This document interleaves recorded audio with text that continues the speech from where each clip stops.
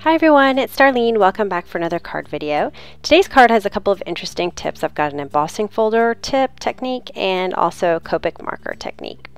So I created this card using the Some Odd Girl Hipster Pet set using this kitty, the Spring Showers die by Lawn Fawn, and this brick uh, embossing folder by Tim Holtz. Now I'm going to start off by inking up my kitty in Memento Tuxedo Black ink on Neenah Solar White cardstock. And I'm going to go ahead and color this kitty using some Copic markers. I have found that, um, I've tried this multiple ways. Uh, I, I, like covering my cardstock first with the lightest color.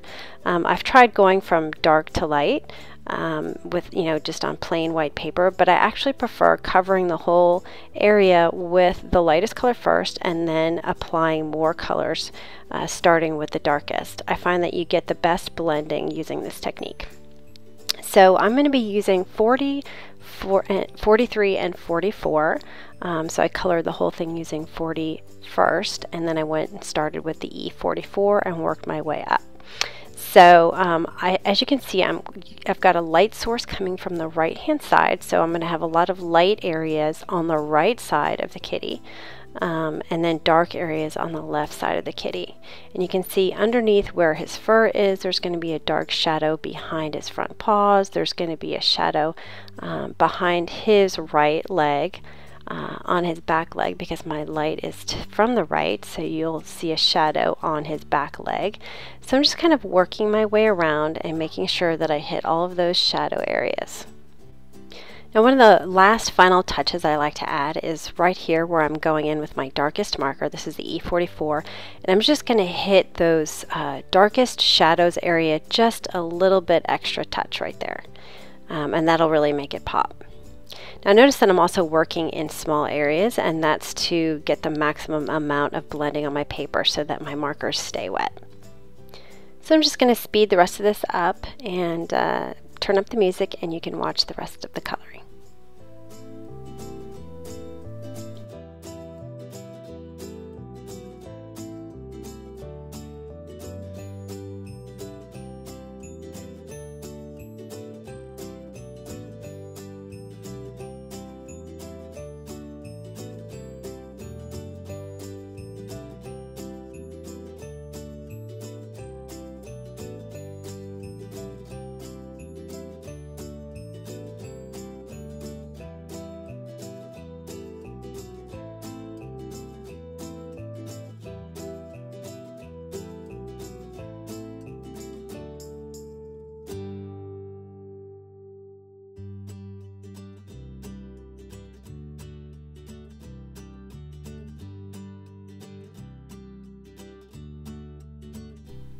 Now for his ears, I did want to get a little bit of a pinkish hue. So I covered it first with E40 and then I went in with some E02 and added just a little bit of highlight and then I went back in with my E40 to blend those two colors together. And then I decided I wanted a little bit more. So what I did was I took my E02 and I put some on my craft mat and I picked it up with my E40 and I started in the corner and blended outward. And then for the nose, I'm just going to combine these two colors. Alright, the next step is to get some texture on my kitty. So I'm going to take this stipple brush and I've got my colorless blender refill, which is this big bottle, and I'm going to squeeze a little bit out onto my craft mat and then I'm going to get a dry tissue ready.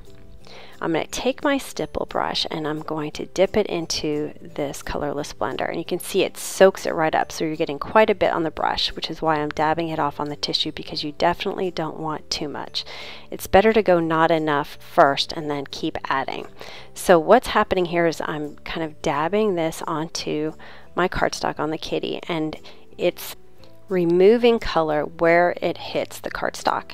So uh, that's why you want to apply it slowly um, and then just keep adding if you need it. So I decided to add a little bit more and you also want to wait a little bit. So it takes a little bit of time for the color to remove and that way you don't remove too much color and you get just that little extra texture that's provided by the stipple brushes.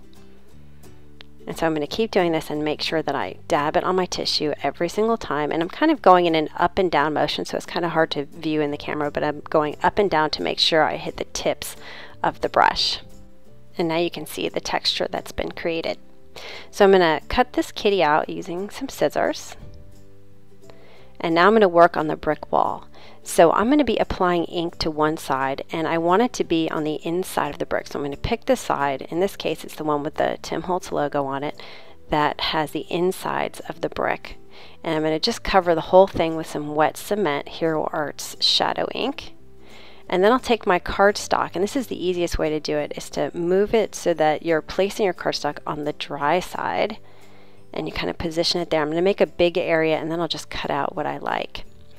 So once I get it positioned, I'm going to slowly close my embossing folder and then I'm going to run it through my big shot.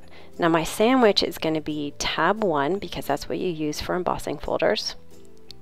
I'm going to put an acrylic plate and then I'll put my embossing folder and then I'll put another acrylic plate and that's my sandwich for running through the big shot. So I'm going to go ahead and run that through. And then when I come back, I'm going to lift it up and you'll see how the ink is applied to the cardstock in the grooves. It's a pretty cool look. So I'm going to figure out which part of this wall I like the best and I'm going to cut it along the side. And then I'm going to take that same ink, the wet cement, and I'm going to ink up the edges just to kind of give it a little bit more uh, depth.